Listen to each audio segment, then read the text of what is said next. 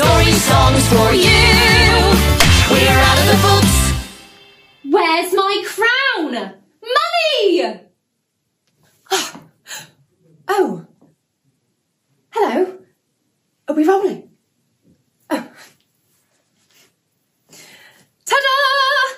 Hello, everyone. I'm Princess Euphony, and I'm ready to win the Once Upon a Tune talent competition. I'm simply bursting with excitement. Wait until you see me on that stage. It'll be simply uh, breathtakingly beautiful. I just wanted to prepare you.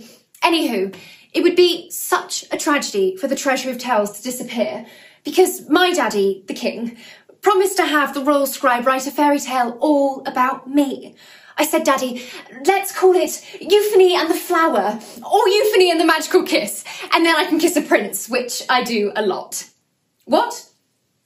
Anywho, if there's no Treasury of Tales, where will we put my fairy tale, huh?